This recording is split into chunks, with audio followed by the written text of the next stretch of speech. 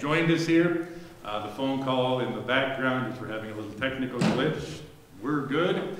Uh, so folks will be coming on live, so make sure you smile and look pretty for them. Uh, just a few things uh, in regard uh, to uh, announcements. We want to continue to be in prayer for Neil Hall and Gord Credit. Neil did have a pacemaker installed. He is up and about. We pray that he would continue to have strength and be able to get back to some normalcy there. Also, we want to continue to pray uh, for Gord Credit. Uh, he's got a few uh, bumps in the road ahead of him, and we ask that God would give him the strength as well as Mary Lou and the family uh, in the, uh, the coming days. If you could add to your prayer list of my mother, uh, she is having a pacemaker placed in on Thursday to regulate a, a low heart rate, so we'd appreciate that. And also we want to express appreciation to the congregation for all of their cards, calls, expressions of sympathy uh, in the passing of uh, Jody's mother. Uh, obviously it was a difficult week uh, for her and for her sister and the rest uh, of the family. And we're kind of doing this kind of cross-country uh, work, at least Jody is, in regards to taking care of all mom's different possessions and the different things. So pray for her and her sisters. They got to make those decisions uh, via via phone. But we have come today to uh, rejoice in the one who is the resurrection and the life, the one who heals all our diseases. So I invite you to come to worship uh, with me now at this time. Let us share together. Let us turn our minds from earthly things. Let us set our minds on heavenly things. We must deny ourselves and take up our cross. Our faith in Jesus saves us. We will lose all that we may gain all. Our faith in Jesus saves us. Father, our faith is only as good as the object in which it is placed. We can sincerely, wholeheartedly believe in many things, but those things turn out to be false. You and you alone can be trusted with our lives and our eternities. Lord Jesus, help us more and more to turn our eyes to you, to look into your face and to see the help we need each and every moment. Holy Spirit, bring us together that we might worship now in spirit and in truth. We pray this, Jesus, in your name. Amen. Let's stand as we praise him. Praise him.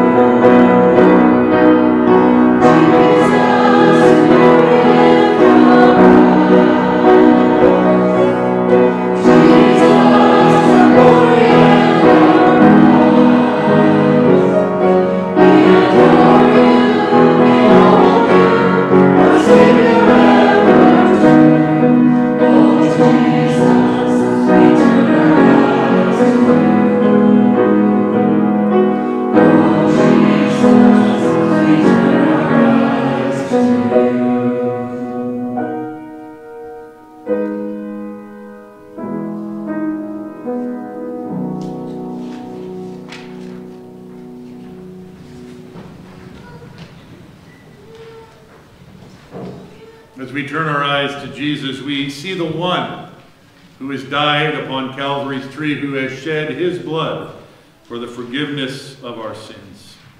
Let us draw near now to that throne of grace as we confess together our sin. Eternal and glorious God, you are merciful, kind, and forgiving. You hear us when we confess to you. We admit we do not focus on you with our whole heart, mind, soul, and strength. A day devoted to you is rarely attempted. We neglect to rest our hearts and minds in you, for we keep going in our power and never stop. We do not attend to your word, for we live by the words and idols of our age. We fail to worship with your people, for we give priority to many other commitments. Forgive us our sin and help us to walk in your ways to the honor of your name. Amen. In God's mercy, we are made righteous through Jesus, who died for our sins.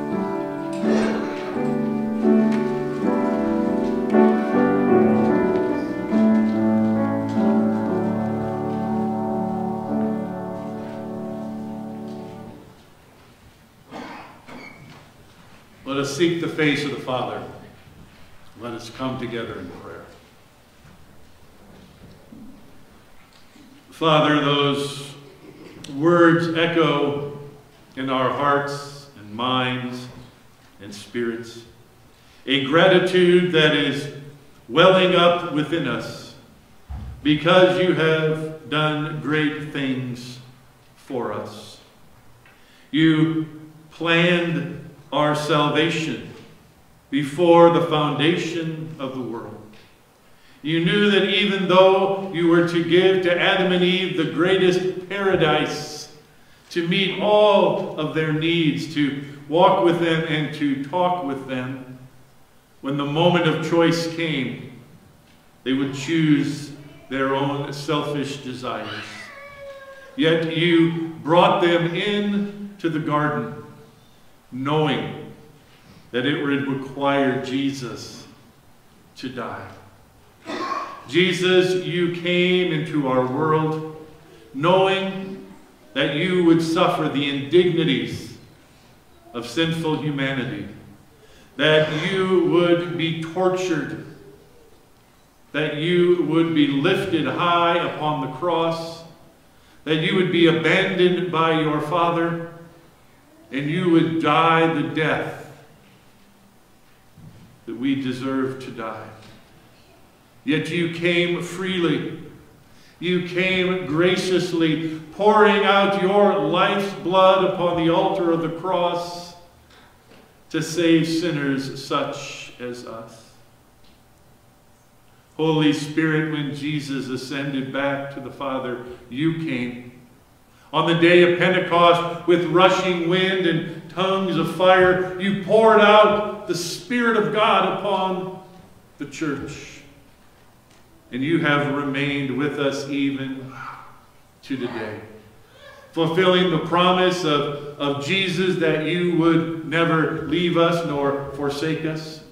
That you would bring to remembrance all the things that Jesus taught.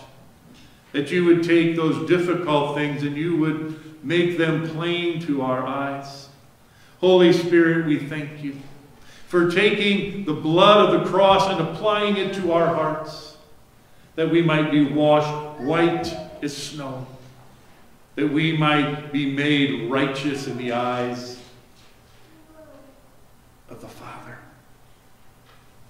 We just want to say thank you again. We can never say it, sing it, proclaim it enough. Thank you, Lord, for saving our souls.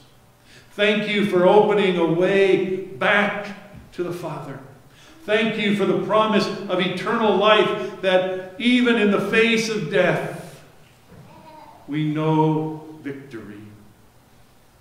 Father, there are those who are sorrowing today. There are those who are mourning the recent loss of, of loved ones. There are those for whom the, the emptiness has remained for months and even years. Fill each broken heart with the spirit that brings all the pieces together. Help them to rest upon you and to find comfort in the days ahead. You are also the great physician. You are the one who heals all our diseases, who by a word allowed the leper to be cleansed, who by a touch opened the eyes of the blind, who by divine command brought from the dead the daughter of Jairus. Father, may that word be spoken again today. Jesus, stretch forth your hand upon your congregations, upon your people, and heal them. We pray for Neil. We pray for Gordon. We pray for my mom. We pray for, for others who are, who are battling COVID and its effects. Those who are dealing long term with cancer and other concerns. Those, Father, who have you know, pain and, and struggle that maybe we cannot see. Heal, Lord. Bless, Lord. Bring wholeness to the body once again. Father, there are others who are gathered here today who are listening through uh, their computers, who are watching on, on television, and who maybe in, in the days to come will, will find this service. Lord, they have needs that maybe they can't speak of. Maybe they have pain that they cannot express. Maybe there is, is confusion, a, a burden, and they are drawn in these moments as we pray for them. Father, strengthen us in our weakness. Grant us grace sufficient for the challenges of the day. Lift us above the circumstances of our lives that we might indeed soar with wings like eagles. But if we cannot yet soar, help us to run. And if we cannot run, help us to walk. And Lord, even if we cannot walk, carry us to where you want us to be. Bless us to become the people we ought to be. Use us as instruments of peace in our community, in our state, in our country, even to the ends of the earth. May we fulfill the mission that you have called us to. May we use our salvation for service, for our brothers and sisters, and for our fellow man. Father, hear all the prayers that right now are lifted up to you from every thought, from every sigh, from every breath, from every beat of our hearts. We lift our prayers to you. And we gather them all as the church. And as the church, Jesus said, when you pray, pray like this Our Father, who art in heaven, hallowed be thy name. Thy kingdom come, thy will be done, on earth as it is in heaven. Give us this day our daily bread, and forgive us our debts, as we forgive our debtors. And lead us not into temptation, but deliver us from evil. For thine is the kingdom, and the power, and the glory forever. Amen.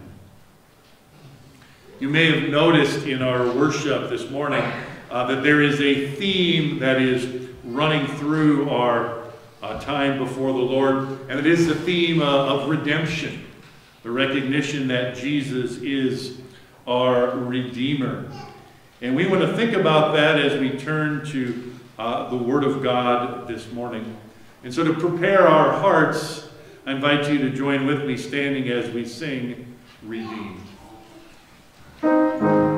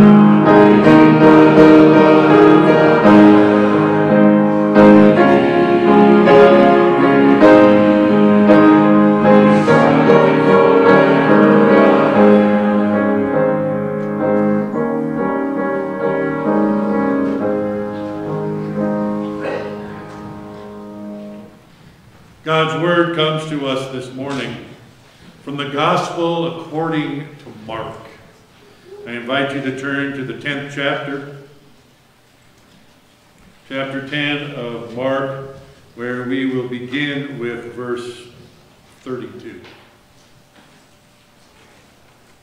Hear the word of God. They were on their way up to Jerusalem with Jesus leading the way, and the disciples were astonished, while those who followed were afraid. Again, he took the twelve aside and told them what was going to happen to him. We are going up to Jerusalem, he said, and the Son of Man will be delivered over to the chief priests and the teachers of the law. They will condemn him to death and will turn him over to the Gentiles, who will mock him and spit on him, flog him and kill him. Three days later, he will rise. Then James and John, the sons of Zebedee, came to him. Teacher, they said, we want you to do for us whatever we ask. What do you want me to do for you? He asked. They replied, Let one of us sit at your right and the other at your left in your glory. You do not know what you are asking, Jesus said. Can you drink get the cup I drink or be baptized with the baptism I am baptized with? We can, they answered. Jesus said to them, You will drink the cup I drink and be baptized with the baptism I am baptized with. But to sit at my right or left is not for me to grant. These things belong to those for whom they have been prepared. When the ten heard about this, they became indignant with James and John. Jesus called them together and said, You know that those who are regarded as rulers of the Gentiles lord it over them, and their high officials exercise authority over them. Not so with you. Instead, whoever wants to be great among you must be your servant, and whoever wants to be first must be slave of all. For even the Son of Man did not come to be served, but to serve, and to give his life as ransom for many. This is God's word for us this morning.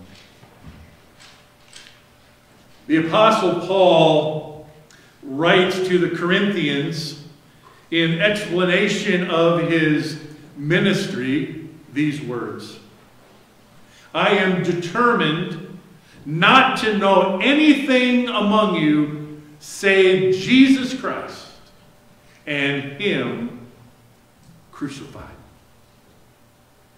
When asked to state plainly what is his purpose, Paul said it is to proclaim Jesus crucified. For Paul, the cross was foundational to his ministry. More so than that, the cross was the foundation of his life. But Paul was only echoing the words that were first echoed by our Lord and Savior Jesus Christ when he looked at the cross and said, This is why I have come into the world. The cross of, of Jesus Christ was the only preaching and teaching of the apostles. They were charged by Jesus as he ascended into heaven to go and to be witnesses. Witnesses to what? To the events of the cross. Paul carries on that uh, cross centered ministry, and it is passed on to the church. And throughout the ages of the church, the church has been successful. The church has been able to, to reach the hearts and minds of humanity by preaching the cross. There is no other name, there is no other message under heaven by which we must be saved than the cross of Jesus Christ. You and I, as Christians, are called to live a cross focused life. The cross ought to be at the center of our being. Yet so often the cross is, is kind of pushed to the background in the church today. I have often lamented that uh, the hymns of the cross that were so prominent in generations before are reduced to only a handful. And you would be hard pressed in, in many hymnals to find any hymns about the blood that Jesus shed upon the cross. And even if such hymns were to be found, they are not often sung in the church because we want things that are lighter. We want things that are uh, happier. We want things that are, at least in the minds of, of many, uplifting. Yet in truth, there is nothing more uplifting than the uplifted cross of Jesus Christ. The season in which we have come upon, the season of Lent, is one in which, even for those who have kind of strayed away from the truth, recognize that the cross is an important thing. That it is important that we talk about the cross, particularly as we mark these days leading to Good Friday. Because we cannot get to the resurrection unless we pass through the cross. We cannot get to the garden tomb unless we climb Calvary's mountain. And what I propose to do uh, together with you, Lord willing, over these next few weeks, is to look at the cross of, of Jesus Christ. And in order to have kind of a, a, a way to, to focus our thoughts, I want us to look at the cross through the Gospels. Matthew, Mark, Luke, and John, and as I will explain a little later in this series, uh, the Apostle Paul. These individuals have made the cross the, the centerpiece of their gospel message. Yet each of them looks at the cross in a little bit different way. The cross is not a flat thing.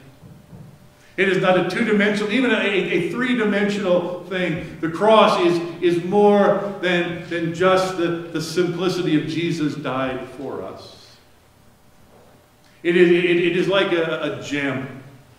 And the best and the brightest of gems have, have many facets, and as you rotate them in the light, they shine brilliantly. And I want us to focus our thoughts on just a few of those facets uh, in this series as we look at the Gospels of the cross. As we look at some of these different facets and we see different perspectives upon what the cross meant to Jesus. What the cross meant to the, the writers of the specific Gospels, and what, therefore, the cross ought to mean to you and I who are living in these latter days. I want to begin with the Gospel of, of Mark, the subject of our text this morning. Mark is the earliest of the written Gospels. The earliest telling of the, the story of Jesus. Now, John Mark was a, a young man who followed Peter.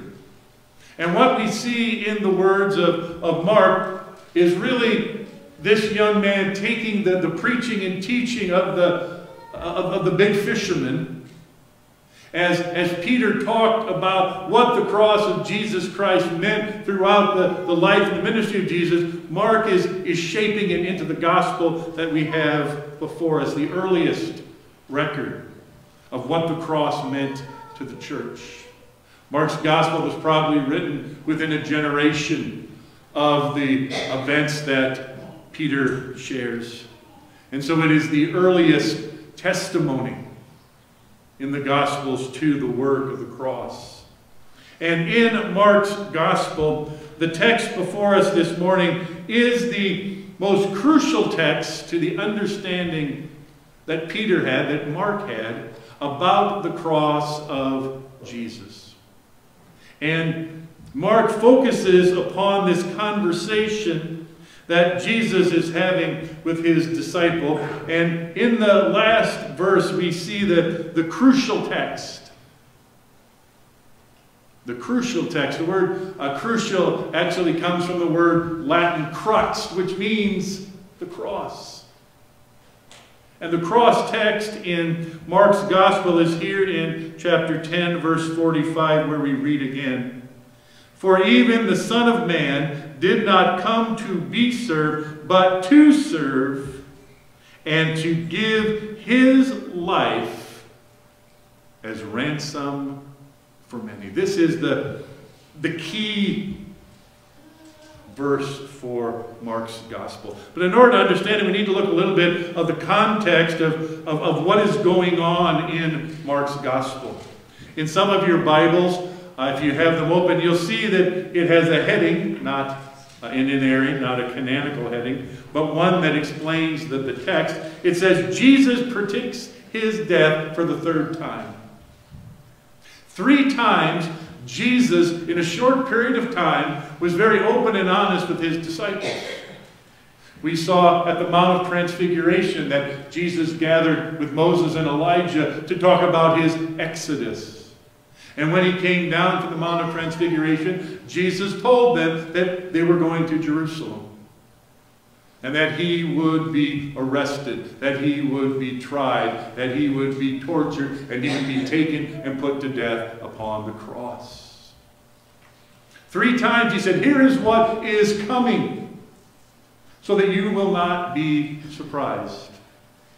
Yet our text begins with the disciples, with Jesus ahead, heading to Jerusalem, and it says that the disciples were astonished, those who followed were afraid. The disciples were astonished because they couldn't believe that Jesus was actually going through with it. And those who followed, who had heard the preaching and teaching of Jesus, were afraid that what Jesus said was actually going to take place.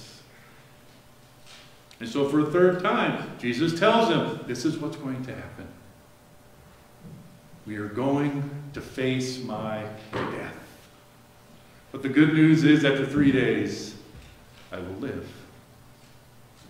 Now, it's in this movement towards the cross that we have this interesting uh, conversation with Jesus and the sons of Zebedee, James and John. Jesus has just said, here's what's going to happen.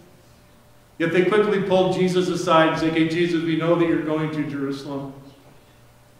And we want to get in on the glory that awaits. They hadn't heard what Jesus had said. They heard what they wanted to hear, that Jesus was going up to Jerusalem. And in their minds, going up to Jerusalem meant that Jesus was going to take control. He was going to reign as a messianic king. He was going to drive the Romans out of uh, the land of Israel. He was going to establish a, a Davidic kingdom that would reign forever and ever. And they wanted to be part of that. And they said, okay, Jesus, give us what we asked for. Jesus says, what do you want? Well, we want to sit your right handed up. We want to be up there. We want to be on, on the podium. We want to be seen with you as people who have always been with you, and we deserve the accolades that, that, that you get some kind of trickle down effect. doesn't say that Jesus was astonished, but he must have been like, wow. You're not paying attention, are you? And then again, he speaks to them in these ominous terms. Can you drink the cup that I'm going to drink? Can you be baptized with the baptism that I am going to experience? Yes, Lord, yes, we can do this. No problem. Okay, just give us the good seats. You ask it, Jesus says you're going to get, you're going to drink the cup. You're going to be baptized with the baptism. Now, I can't guarantee the seats because that's not mine to give. No. says the other disciples are extremely upset about this, indignant. In fact, the word indignant does not even fit what's going on. They are spitting mad to James and John. We're not sure if they're spitting mad because of the audacity of James and John to ask for the right or left hand, or they're spitting mad because they weren't smart enough to ask first. And so, as this internal debate, to put it mildly, is going on among the disciples. Then Jesus comes back you know, with the words that leads to our text, talking about how the world works and how the church, how Christians ought to behave. And he ends with turning the spotlight again upon himself, saying, For even the Son of Man did not come to be served, but to serve, and to give his life as a ransom for many. So that's a little bit of the context. And, and, and from this, I think there are really three questions that Mark answers for us. Three questions I think that's important that we ask in light of Mark's understanding of what Jesus is about to do. Of Jesus' self revelation of what the cross means. Not all of it, obviously, but for purposes of Mark's gospel, here's what the cross is about. Those three questions, first of all, are this What does the cross display? What does the cross reveal here in the Gospel of Mark? What is the, the cross shining a, a light upon? What is it highlighting as, as important for our understanding this morning? Well, it really reveals, it, it highlights, it displays two things. First of all, it reveals the sinfulness of self. It reveals the inner working of the unregenerate human heart. Again, look at the look at the scenario. Jesus has now said to the third time, I am going to die. And not merely die, I am going to be tortured. I am going to be hung upon a tree by the Romans, the cruelest, most unimaginably vicious death that you know. And here you are saying, Hey, Jesus, we want front row seats to glory. Here are individuals who have walked with Jesus, who have heard Jesus preach and teach. They have witnessed the miracles. They've been told three times that the pathway ahead is one that is a baptism of blood and the bitter cup of condemnation. Yet they are so concerned about their own positioning, jockeying to get ahead of the other ten, that they're clueless about what Jesus is talking. Their own selfish desires have blinded them to the reality of what it means to follow Jesus. And James and John are really no different than, than any of us. Like I said, the other ten were indignant probably because they didn't think to ask, that they didn't get first in line. Because all of us want the glory. All of us want the, the good things. All of us want a life of, uh, of blessing. And we don't often realize what it takes to receive that.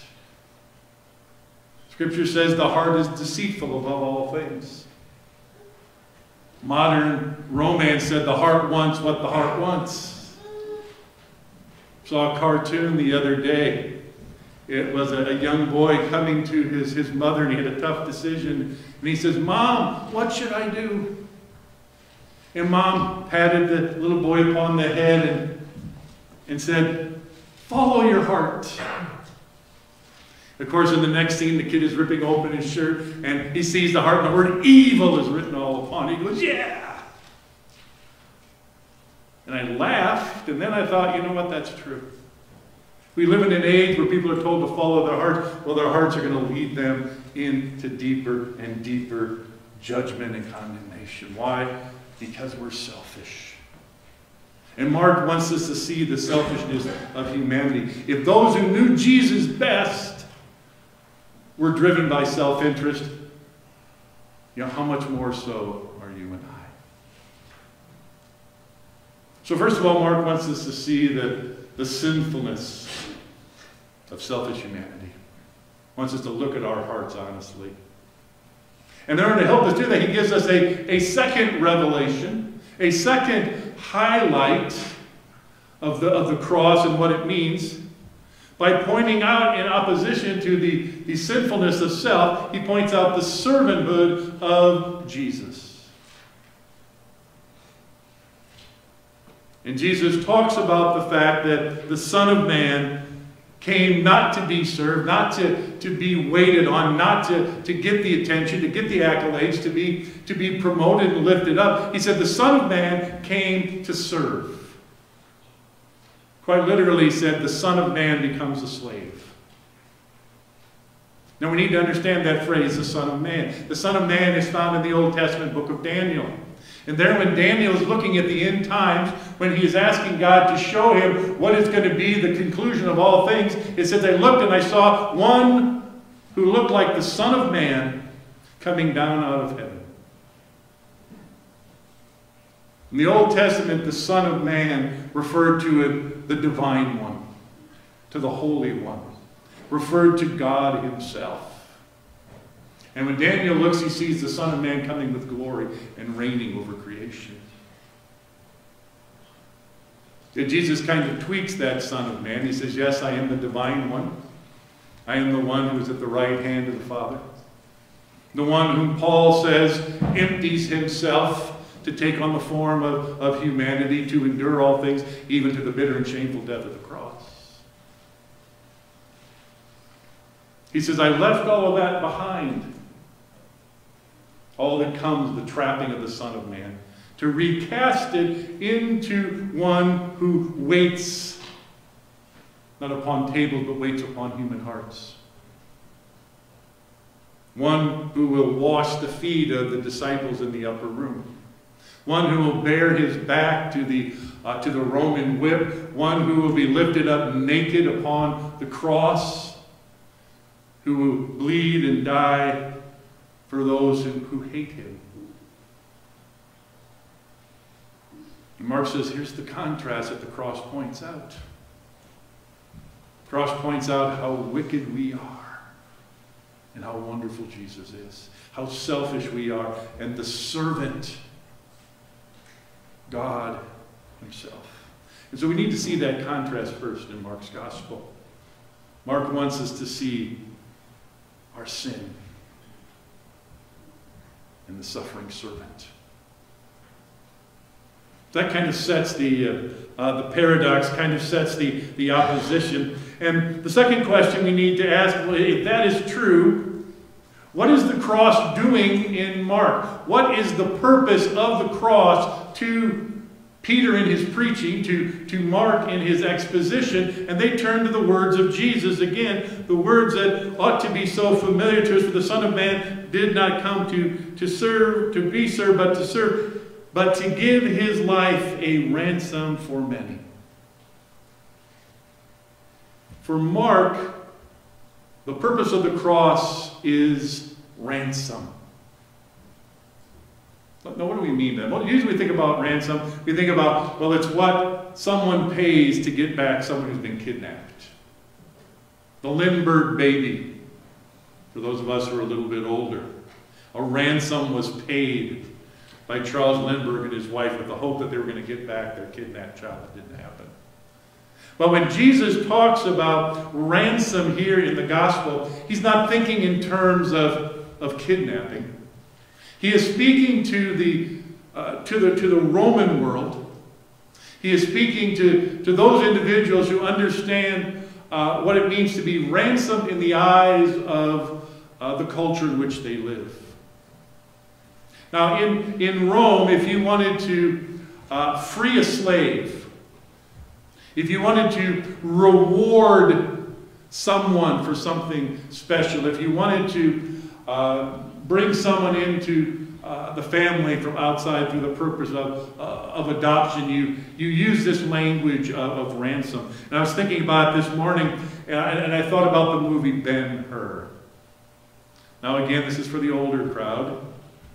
But Ben-Hur is one of the greatest Christian movies made. And in Ben-Hur, you have a, a son of Israel who is falsely accused by a friend, and he is uh, found guilty of a crime he did not commit. He is imprisoned on a, uh, on a Roman galley, and where he is looking forward to nothing but facing the wrath of the, the man uh, pounding out the beat upon the Roman galley, and at best he hopes to die uh, in battle. Of course, in the movie, uh, the battle rages with these Roman ships and the enemy ships, and the Roman ship is, is hit, it starts to sink, and Ben-Hur saves the life of the Roman soldier who was lording over him, who was responsible for his imprisonment. And he saves his life from drowning in the ocean. And out of gratitude, this individual takes Ben Hur uh, back to Rome and wants to adopt him as, as his son. He wants to ransom him from his punishment.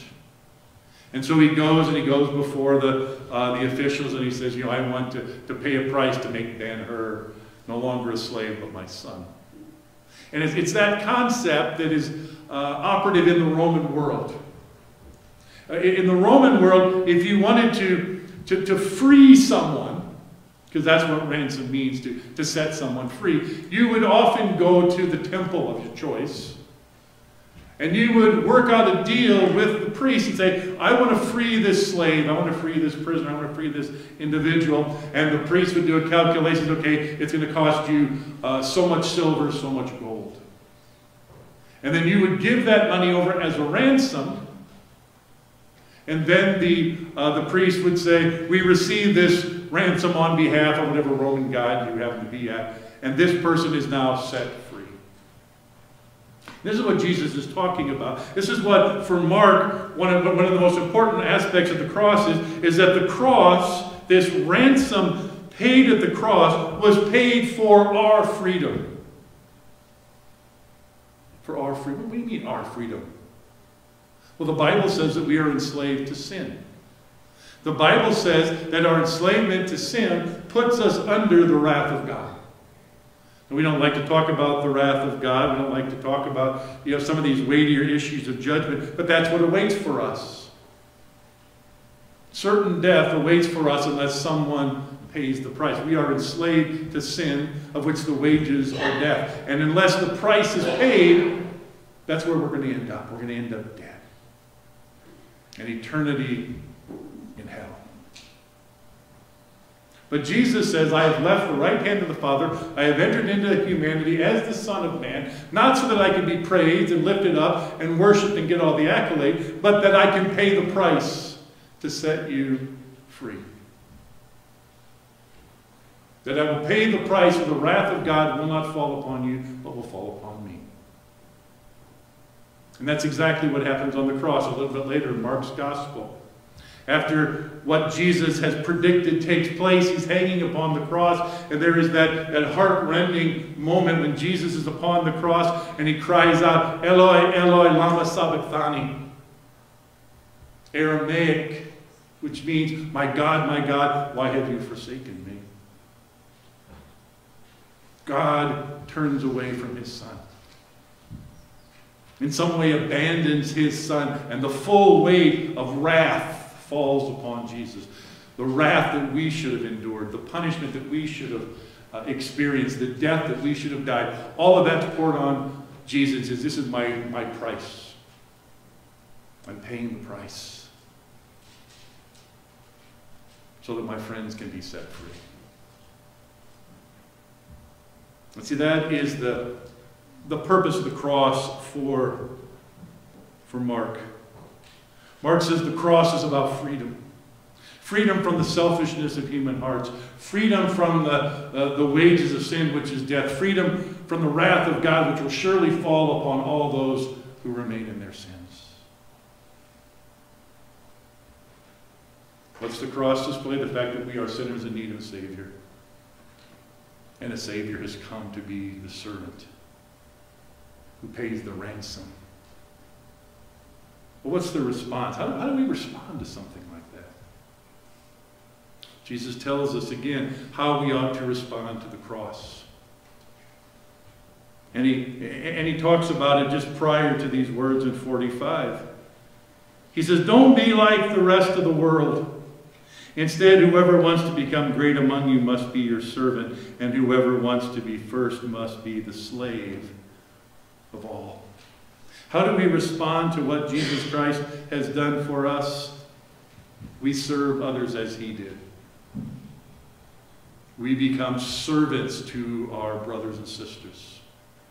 We become servants to Christ. We become slaves, as Paul says, to the one who redeemed us. Mark a little bit earlier when talking about um, the Christian response. Again, this is in, uh, in the second time when he talks about his death. Says over in chapter uh, 8, he began to teach them that the Son of Man must suffer many things and be rejected by the elders, the chief priests, and the teachers of law, and that he must be killed, and after three days uh, rise again. He spoke plainly about this. And then Peter, of course, pulls him aside, saying, You know, that's not how it's going to be. This is how it's going to be. And Jesus says, Get behind me, Satan. And then what does Jesus say? Here's what he says. Whoever wants to be my disciple must deny themselves and take up their cross and follow me. For whoever wants to save their life will lose it, but whoever loses their life for me and the gospel will save it. Our response to the cross that frees in Mark's gospel is to take up our own cross and to work for the freedom of, of others. Paul picks up that theme over in, in, in Galatians 5. You turn over to, to Galatians 5. We're going to spend some time in Galatians when we get to Paul's gospel of the cross. But, but here's what he says, verse 1 of chapter 5. It is for freedom that Christ has set us free. Stand firm then, and do not let yourselves be burdened again by the yoke of, of slavery. And you move on uh, a little bit further, verse 13. You, my brothers and sisters, were called to be free. But do not use your freedom to indulge the flesh. Rather, serve one another humbly in love. For the entire law is fulfilled in keeping this one command love your neighbor as yourself. We are saved from our selfishness in order to unselfishly serve one another. Why? Because that's what Jesus did. Jesus was willing to endure even the cross that he might serve his brothers and sisters. And so if we understand the cross is that which frees us from the wrath of God, that frees us to serve one another, we ought to take up the cross then, and we ought to become servants of one another. That means putting their needs first. That means being, being humble, not seeking the spotlight, not seeking the attention, but be willing to work behind the scenes to get into the, you know, the, the depths of the stuff of this world. When others turn away, we ought to look others fully in the face. When others mock, we ought to love. When others uh, run away, we ought to run toward, because that's what Jesus did for us. The cross shows us who we are, tells us what Jesus did for us in setting us free, and then said, You do the same. You do likewise. And that's hard in the age in which we live. The age in which we live is all about getting, all about self promotion, climbing up the ladder. Doesn't matter who you step on, get to the top. Be a number one. If you're not first, you're last. And that's the mentality that drives this nation, that really drives most of humanity in these latter days. Is get, get, get for yourself, self, self, and to heck, heck, heck with anyone else. Jesus says that's not the way it's ought to be done. And so I'm going to lift high this cross, and I'm going to show you what it means to serve. And then I'm going to give you the freedom from your own sinful heart to love others as I have loved you. P.T. Forsyth said this. He says, Christ is to us just what his cross is. All that Christ was in heaven or on earth was put into what he did there. Christ, I repeat, is to us just what his cross is. You do not understand Christ until you understand his cross. That is our, our hope. That is our uh, challenge over the next few weeks, is to look at the cross of Christ. Because in the cross we see who Jesus is, what he came to do, and what he expects us to do in response. And in Mark's gospel, the cross brings us to our sinfulness and lifts up our Savior. And says, Go into the world and live as He did. Let's pray. Heavenly Father, we thank you. We thank you for all that's done in the cross. But today we want to focus on Mark's purpose. To realize that the cross sets us free, sets us free from judgment for your just wrath. That Jesus endured everything that we should have experienced upon the hellish tree of Calvary. And how can we not want to respond in love? How can we not want to heed his command to love one another, to serve as he served? Jesus, you have set us free. Help us freely, freely to give as you did for us. In your name we pray. Amen. One of the ways that we show that we have been set free is to sing. Join me. I will sing of my Redeemer. Música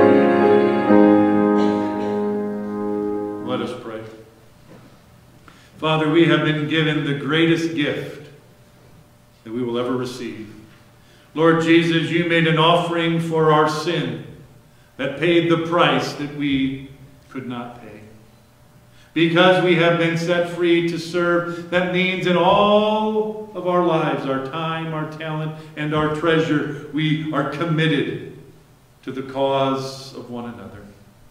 Take the offerings that we have brought this day, use them for the gospel message that Jesus saves and the cross sets us free. Bless the gift and the giver to the service of your kingdom. They are offered along with our hearts in Jesus' name.